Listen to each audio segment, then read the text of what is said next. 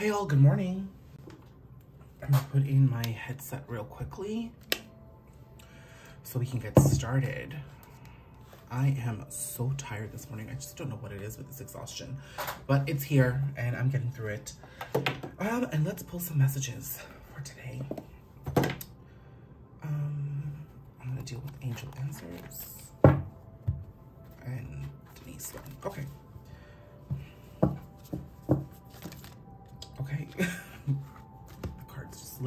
Split. I didn't even have to shuffle. I'll take the two that I see, which is transformation and stillness.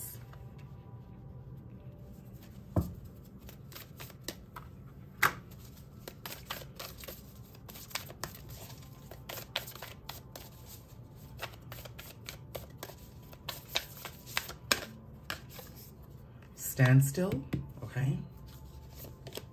purity.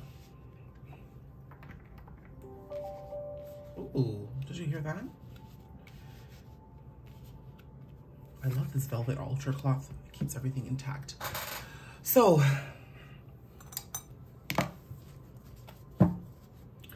this is a pretty powerful reading, actually, if you think about it, because we are being given a confirmation that a transformation is at play here. Probably a lot of the heaviness that I'm feeling from the collective, but also you know when you wake up in the morning and you have slept as long as you can, but you feel so heavy with sleep in your body and your eyes? So that's how I knew that I was transmuting something quite heavy. Seems like it's happening for the collective. That we are at a place where we might feel like nothing is happening and nothing is moving. But this stillness is required in order for us to maintain a very beautiful, pure energy as we move forward in our journey. It's almost like there's a recalibration happening here in your own personal energy. And notice that the the mountain wolf's eyes are blue and green. This is giving me a throat chakra cleansing and our heart chakra awakening. So there is, your heart space is purifying and your ability to communicate what you feel is purifying too. You may not have been successful at communicating your feelings and your thoughts in the past. Both of these are purifying, but the thing is, there's this talk, and then at the same time, I get another confirmation of blue here, which is the throat chakra, and then yellow, which is the sacral. So there's this idea that what you feel and what you communicate or what you feel that you need to communicate right now is so deeply connected to your solar plexus, who you are, your identity as an individual. You may have suffered with not feeling good about yourself. With You may have not been able to give yourself love and understanding in different ways throughout your life, you know? Um, you may be hiding something about yourself is what I'm hearing. Or you may feel like there are parts of you that are unacceptable to others and you've had to really struggle through that throughout your life. So I'm seeing that you are at a point of a transformation where you are blossoming and you are coming into yourself and there's a lot of power coming to you, a lot of understanding, a lot of downloads, and a lot of movement. But right now, in this process of purification, you are resting or you're being asked to rest. So if something's not really happening right now, don't force it. You know, if your social calendar is kind of clear, keep it clear. Don't force yourself to get out more than you're ready to. The idea is, is that you embrace this pause, okay? Also understand that Aries season is the beginning of a new cycle, but that just doesn't mean cycles end in a snap and new ones just begin right away. There usually is a period that you have to go through where you incubate, um, a gestation period, if you will, where things take shape so the new cycle can begin with this new shape-shifting experience, okay? It's like having a child. Like a woman will carry a child for nine months. There's that incubation period. But then the minute she gives birth, she's not having a kid again unless, you know, right away. She allows her body to rest. That's the kind of message I'm getting here, okay?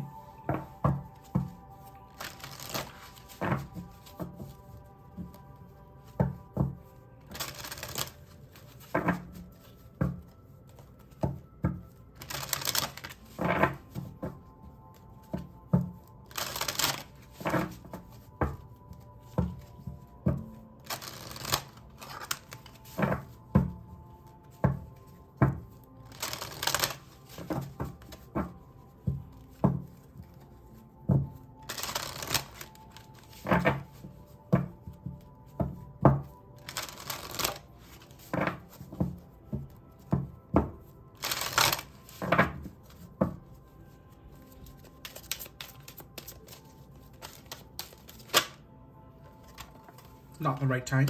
So you're being asked to stand still. Confirmation of that. That doesn't mean what you want isn't going to happen. It's just saying don't force it through. A year from now, reconsider. Okay.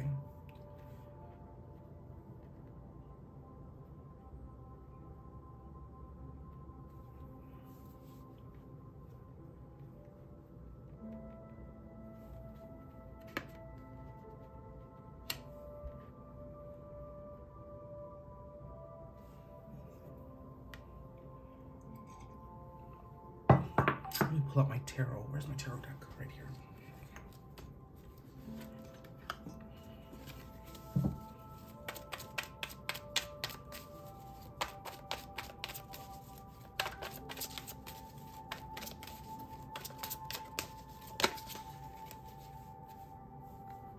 Reconsider is clarified by the Page of Wands. Not the right time is clarified by the King of Pentacles. And a year from now is clarified by the Eight of Swords. Okay, so bottom of the deck is death. So that's a confirmation of transformation here twice. Okay, so what I'm understanding here, uh, you are meant to allow things to play out the way they are playing out right now. You might be fearful. I'm hearing that some of you are fearful that things aren't going to work the way you want them to, but what if they're meant to be better?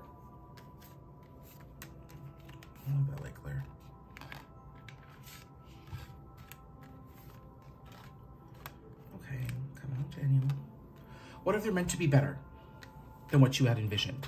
Okay, so I'm seeing that right now is a time for grounding. The only way to ground is to allow things to come to a pause. So if something's needed to end, allow it to end. If something's already ended, start keeping its energies alive by constantly thinking about it and constantly trying to reignite it in some sort of fashion, okay? It's gone. It needs to be gone, okay? That doesn't mean it won't come back. But what it means is right now, you need to ground yourself, okay? You need to get out in nature. You need to breathe the fresh air. You need to allow yourself to go through this transformational process. Sometimes we become so fearful of losing the things we want, we grip so tightly, we don't allow things to take shape the way they need to. Now, chances are a lot of you have been either had very controlling parents or had to fight off tradition or expectations and not being given the opportunity to do what you want. A lot of that created a lot of anxiety in you because your parents or your culture had such a tight grip on who you were meant to be. You're transmuting that. You're changing who you are. But that sort of tight grip is what you're doing to your journey.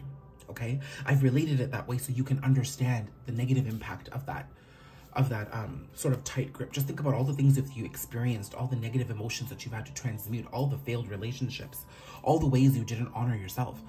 Think about all the, the, the negative side effects and byproducts of that tight grip. You don't want to do that to your journey. You're being asked to just release the hold and allow things to happen the way they need to. That's going to come from grounding. You're going to feel better about it when you ground yourself. I'm seeing meditation, breath exercises, getting out in nature as a way to just pull back okay? This also doesn't mean things aren't shaping up. A standstill and stillness is just asking you to stop the action you are trying to physically do to control this, okay? The energies are still moving forward. Things are still moving along. I'm getting a headache as I say that.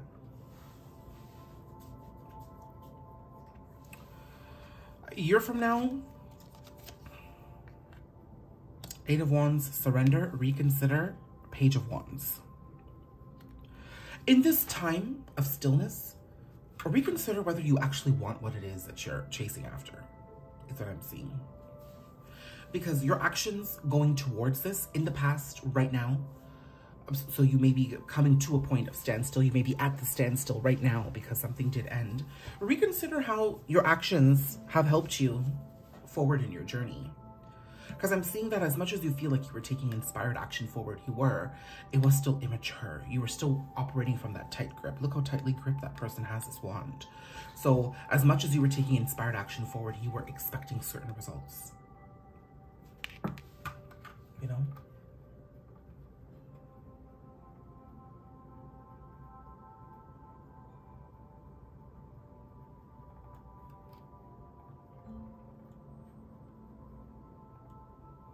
Mm-hmm. what I'm really getting here right now.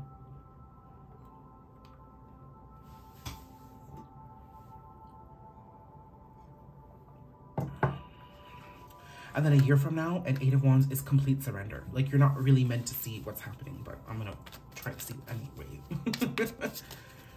I do feel that a year from now, this entire situation that you're going through is going to be completely different. You're going to be like, what?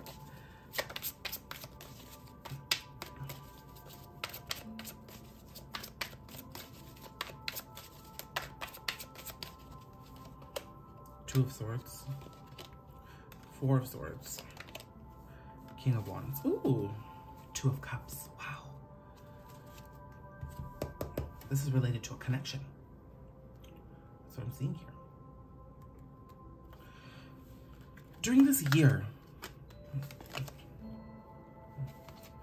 you might feel like you're conflicted about certain things, but still, you only feel conflicted because you're putting yourself in that energy to decide. You really don't need to decide anything. You just need to let things be okay?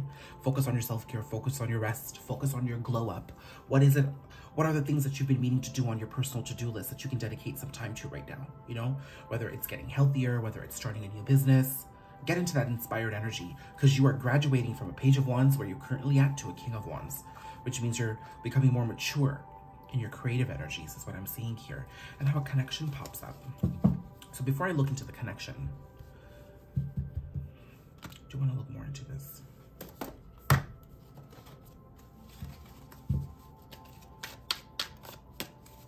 actually don't want to use this.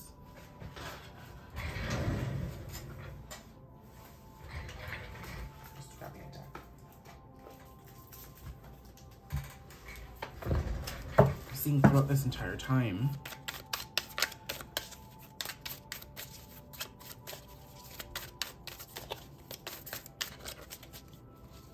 you are healing sibling rivalry, toxic anger. So definitely family issues, grips. I'm not seeing sibling rivalry as like you, um, sibling rivalry, I'm not saying that you're actually competing with a sister or a brother or anything of that sort, but rather I'm seeing it as that cultural situation, that family lifestyle that's really been holding you back. You've housed a lot of toxic anger. You felt very bitter and angry towards your circumstances. You need to allow yourself time to heal that because if you don't allow that, how is your transformation going to come through?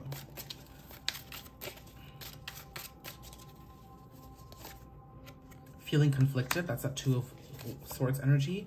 Afraid to blossom yeah.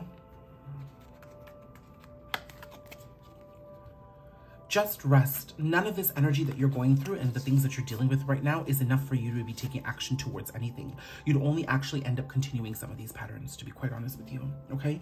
But I've just heard just a few seconds ago that somebody's coming out of this one year period that a year, last year, April, things are completely different than what you had imagined they were going to be. So there's a group of you who are just about embodying this one year period of transformation right now. You know who you are. During this period, you're going to be transmuting a lot of the family pressures and expectations you felt to be a certain way. You're going to be dealing with a lot of the the anger and the negative emotions that you've housed within yourself that have kept you from truly blossoming. And you might feel conflicted, but those conflicts are meant to happen so that it can call attention to more of the things that need to be healed. You are graduating, you're going to ground yourself, you're going to surrender, and you're going to graduate from a Page of Wands to a King of Wands. Now, there's a lot of you who have undergone this period, who are now bringing in your transformation because you've come into this King of Wands energy. And even though you're still here, you're being asked to still not decide and move forward and take power and liberty in that space of non-action. Also, non-action is a form of action. So there's that. Now, I see two transformation cards here, transformation and death, which does clarify the two of cups for me, seeing that there are two people in a connection going through this right now. So I'm going to grab this, you know me, and these love messages. Okay, the seven of one, the seven of um, cups keeps falling out. So we'll see.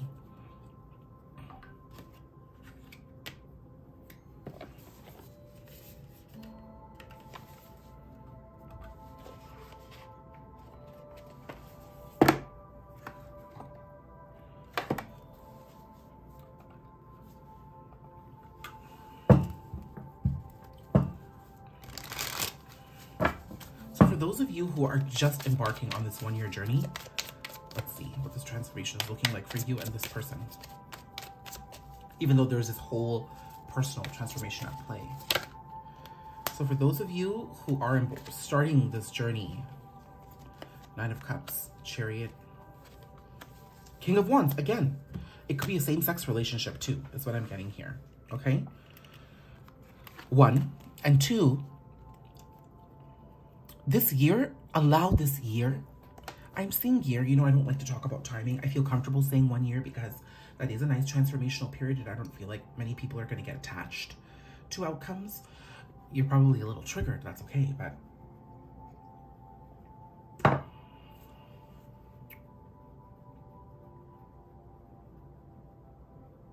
I'm seeing that you are on the journey of figuring out what you want in life. You know, I think you felt like you wanted this connection, but the way it was being given to you or the way it showed up in your life, you were chasing so much after that the universe just had to put a pause and a standstill at that connection in order to allow a transformation to take place between yourself and the person you were dealing with because things just couldn't continue in that manner is what I'm hearing. Things just couldn't continue that way. Okay. Now you may feel like you're actually no longer moving towards that connection in this period of transformation, but you are moving forward and you're moving forward victoriously to um, being a better version of yourself. What can we expect in this connection over the year?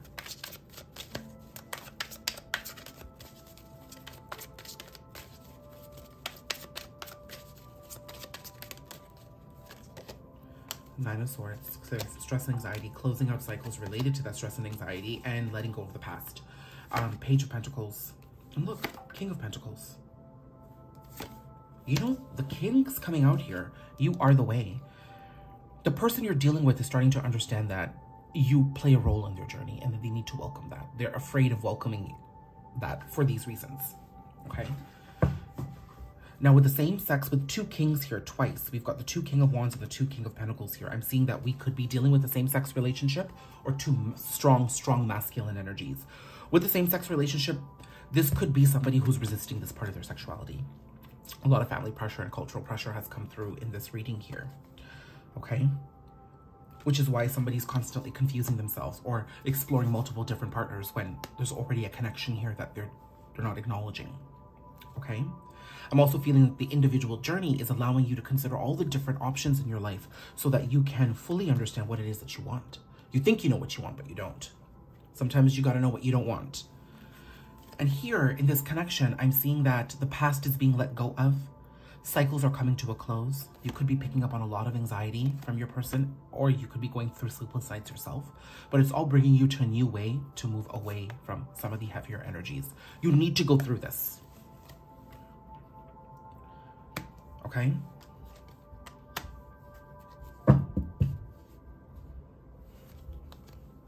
Now let's see for those or just coming out of this energy. The of Pentacles, I'm still seeing it. You guys, I'm going to keep this. You guys could be dealing with same-sex issues or two masculine energies here. That's come across quite strongly. I feel that speaks to anyone identifying with this. But for those of you coming out of this year now, embracing your transformation and moving forward, what does this connection look like now?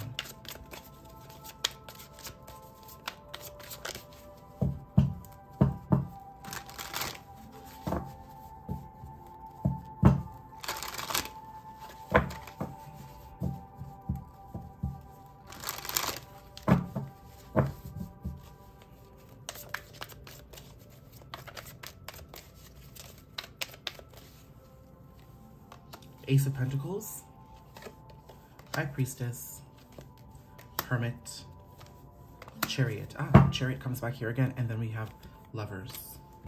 I like this energy. You're still coming out of that incubation phase, this idea of the standstill, this personal reflection. You are still coming out of it. I'm seeing you need to be mindful and listen to your intuition about how to proceed further now that you've gone through a year of deep learnings and deep transformation. I come back to that point where I made, if your calendar is a little empty right now, don't go ahead and overbook yourself. Okay, there's this idea that you're getting a little too trigger happy and a little too excited and moving faster than you need to. You're still slowly coming out of this phase of your internal reflection. What have you learned? What have you noticed about yourself? Embrace the connection slowly okay? You could be picking up on your person's energies. I'm seeing that intuitively you kind of understand that you're coming to this point where something is going to ground in some capacity. And you're moving forward in making decisions. This could also be your person's energy too. I feel like this is your energy. This is your person's energy. What do we need to know about your person? They're on a quest of finding balance. And they divinely understand that you are part of that. Divine justice. Hangman. Empress. Oh my god. Emperor. Oh my god. Oh my god. Oh, this person realizes you are the one. Look, Eight of Pentacles. They are working hard at it. This person realizes you're the one. This is huge. So for those of you who have gone through this one-year transformation, your person is moving forward. They're behind you on this journey.